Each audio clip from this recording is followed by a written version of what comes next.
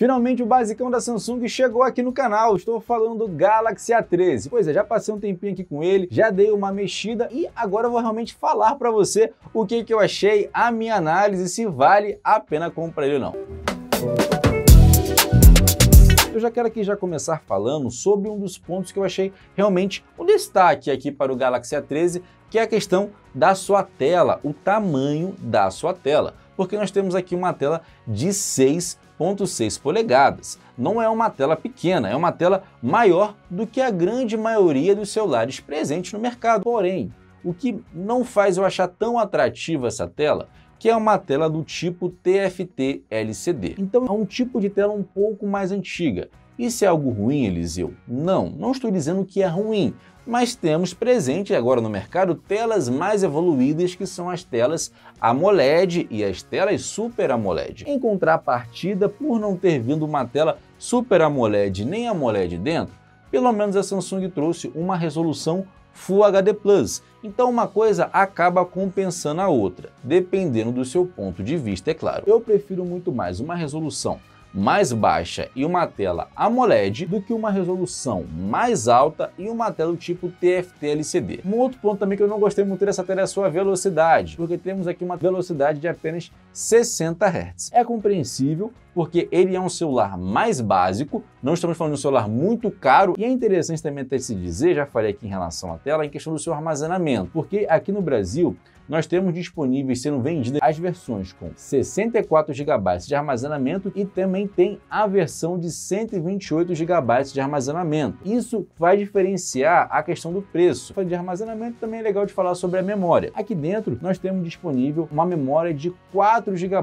de RAM. Isso é algo ruim? Não. 4 GB é uma quantidade excelente pela proposta do aparelho. E melhor ainda é a funcionalidade que temos aqui presente, porque nós temos aqui a RAM Plus, que faz com quando ela está ativada, pegue parte do armazenamento interno e transforme em memória RAM. A possibilidade aqui do Galaxy A13 é de no máximo mais 4 GB e você também tem a possibilidade de mais dois. Aí você opta por qual você quer utilizar. Mas tem um ponto para você ficar de olho, principalmente você que gosta de ficar jogando alguns joguinhos às vezes até um pouco mais pesado, um Free Fire, um PUBG da vida. Por quê? Porque o processador presente aqui dentro é o Exynos 850 ele faz um trabalho interessante, não é um trabalho de alto desempenho. Só para você ter uma noção, você que gosta talvez de benchmark, a pontuação na Antutu dele foi de 134.450 pontos. É uma pontuação bem razoável, realmente, de um processador de um celular básico. Mas um grande destaque, de fato, para ele é a sua câmera. No caso, a câmera principal, porque temos aqui presente a câmera principal de 50 megapixels, que faz um trabalho interessante. Está aparecendo algumas imagens aí para você,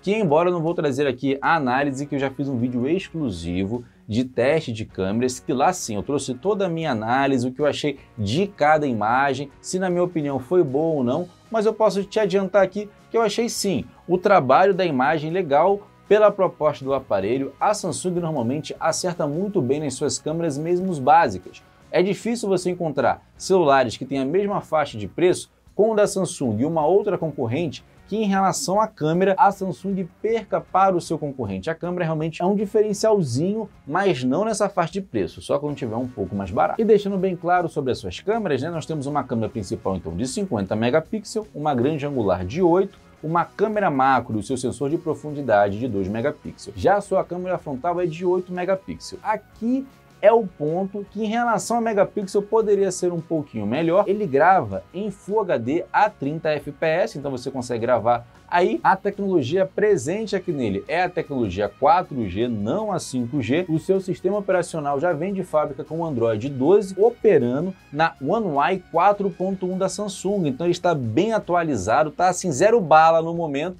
Realmente você vai ter o de melhor presente em sistema operacional. E um diferencial aqui nele que eu diria é em relação à bateria, não necessariamente ao tamanho dela, porque nós temos aqui uma bateria apenas de 5.000 mAh.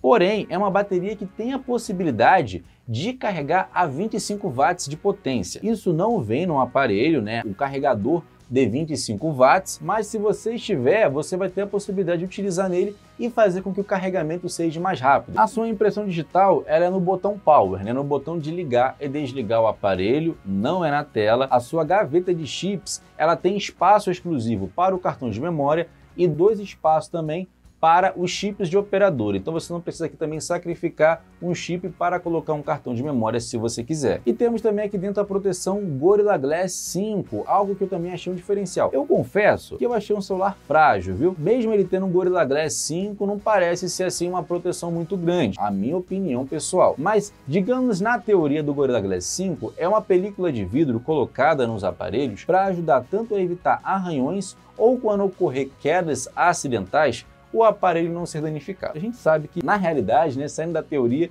muitas vezes isso não acaba acontecendo. O celular cai no chão, ele acaba realmente danificando a tela, tendo algum problema na câmera. Isso acontece, então coloca uma película de vidro, coloca uma capa protetora também boa, para você não ter dores de cabeça. E eu também não posso também te falar sobre relação ao seu design, né? Uma coisa que eu acho bem bacana é que, embora o celular ele seja uma estrutura de plástico, ela não pega muita marca de dedo. Eu passo o dedo, passo o dedo, ó, vou colocar aqui na LED, ó, você percebe que quase não parece nada, é bem perceptível.